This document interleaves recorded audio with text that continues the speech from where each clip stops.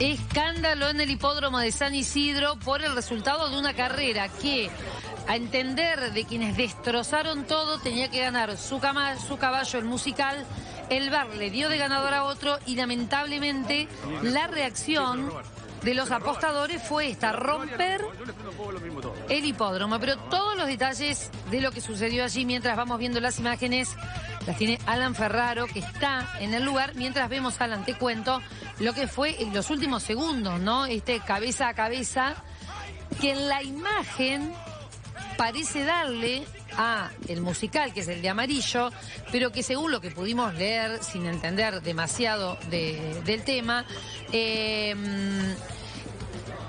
habría, no habría cumplido con todas las reglas y habría perdido puntos. Algo así es lo que entendimos. Vamos a ver qué es lo que nos eh, contás vos que pudiste averiguar por allí.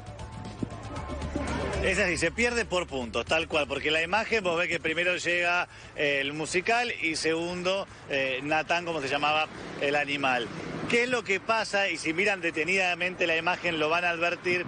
Hay un choque de caballos. Como que de costado se tocan, se rozan. Sí. No se desestabilizan, pero la regla del TERF dice justamente que se puede incurrir en una falta gravísima si se produce esta situación. Entonces terminan castigando, aplicándole distancia al primero.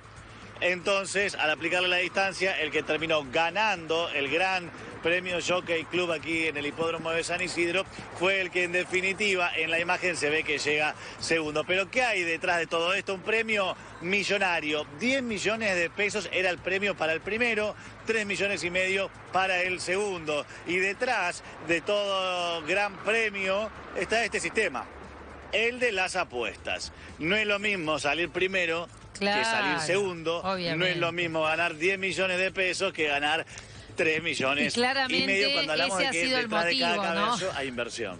Claro, más que la mora del caballo, es la plata que cada uno puso que quiere recuperar y ganar.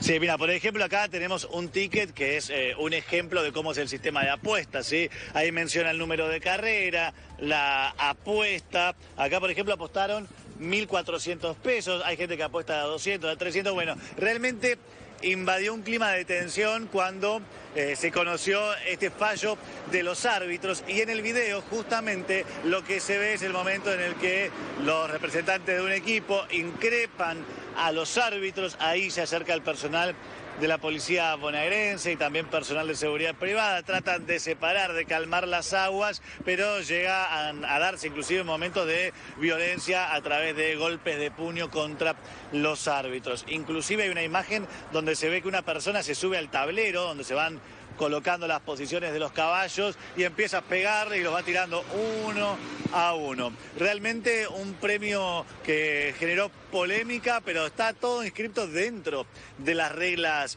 de juego. En la imagen se ve claramente cómo un caballo toca al otro y eso puede generar que el caballo tal vez no rinda en la carrera y entonces cambiar la definición. Bueno, Está todo dentro del reglamento, se establecen sanciones y hay árbitros, como en todo eh, partido, como en todo deporte, hay árbitros, son los jueces los que deciden y es a su interpretación. Interpretaron que hay una falla gravísima dentro del reglamento de TERF o de TURF, se diga como se diga, y lo cierto es que, bueno, cambió el resultado, le aplicaron distancia y el segundo salió primero, el primero salió segundo, no le alcanzó y lo trataron de resolver a las piñas, pero eh, tampoco alcanzó.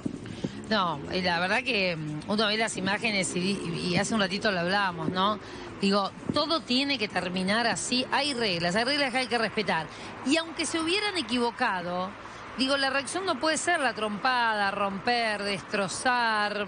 Nada tiene que ver el hipódromo con esto, ¿no? Como qué, poca qué poca gestión de las emociones tenemos eh, en algunas cuestiones, ¿no? Y bueno, Acá me imagino que también si plata de por medio es peor, pero, pero qué cosa que no podemos dirimir eh, estas cuestiones de otra manera.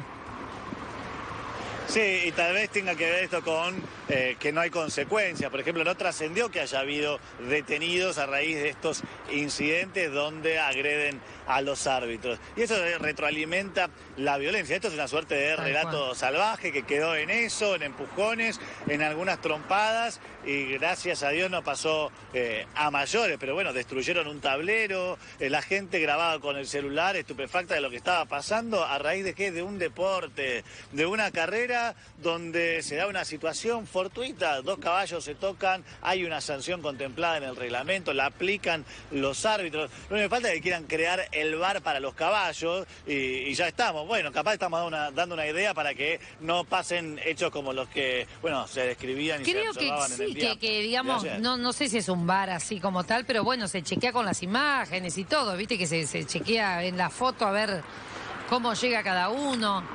Eh, la verdad es que vos diste la clave, ¿no? La no sanción. Quienes estuvieron ayer y rompieron todo deberían no solo tener alguna sanción desde, desde lo judicial, sino también desde lo económico y que se hagan cargo, porque es lo único que, que duele en definitiva, ¿no?